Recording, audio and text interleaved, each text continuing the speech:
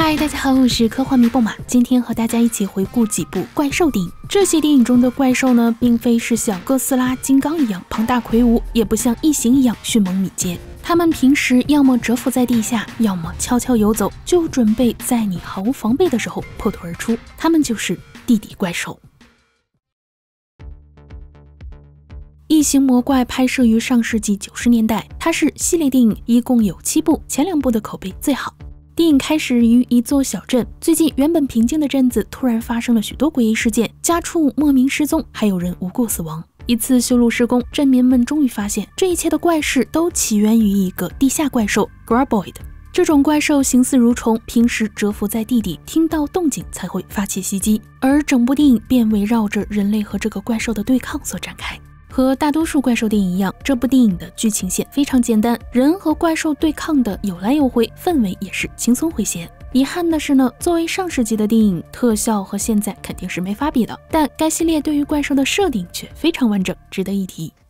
在第一部时，这个怪兽还只是一条地下大胖虫。它因为常年待在地底，所以没有眼睛，但是它的听力非常发达，舌头呢也特别长，会对人类展开出其不意的袭击。好在这个时期的它还无法爬高，有智力，但是智力一般，主角们待在岩石上就能躲过它的攻击。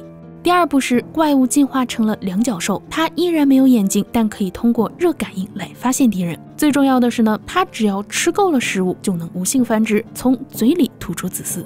第三部中，两脚怪兽进化出了飞行技能，它的尾巴可以喷火，借此可以一飞冲天。不过，它捕捉敌人的方式没变，还是依靠热感应。另外，在这个时期，怪兽吃东西已经不会繁殖，只会陷入昏迷。它们的繁殖方式从呕吐变成了下蛋，而这个蛋孵化出来的就是第一部中大胖虫的幼虫。至此，整个怪兽的成长路线算是连上了。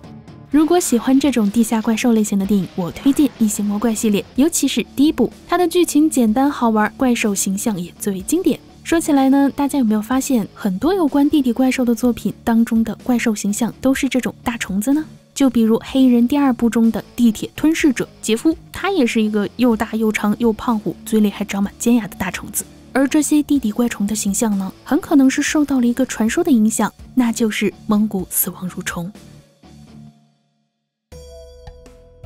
传说在蒙古戈壁滩上有一种能带来死亡的红色巨虫，这样的恐怖传说为人们开拓了不少的脑洞，也真的有导演把蒙古死亡蠕虫拍成电影。该片于二零一零年上映。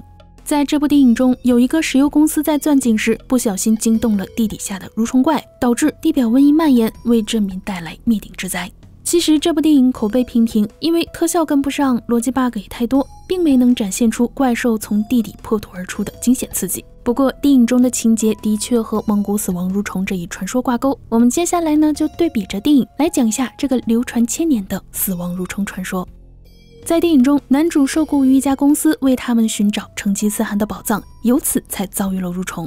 而在传说中呢，蒙古死亡蠕虫正是成吉思汗墓的守护者，找到了他们就意味着能找到财宝。再看电影中的虫子形象，它形似阔鱼，整个人哦不对，整条虫比较肥硕，颜色呈褐色，舌头就像蛇一样长。而在传说中，蒙古死亡蠕虫身长一点五米左右，通体红色，没有头和腿，长得像牛长。所以这么比较起来，电影中的虫子的确是胖了一点，也高大了不少。不过在能力上，电影中的虫子就弱得多了。它呢主要靠舌头来捕捉猎物，但是在传说中，蒙古死亡蠕虫的口中可是会喷射出高腐蚀性剧毒液体，而且它的眼睛还能发出强电流，轻而易举就能取得猎物性命。